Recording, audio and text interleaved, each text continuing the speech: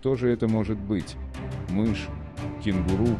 Ответ в телеграм-канале.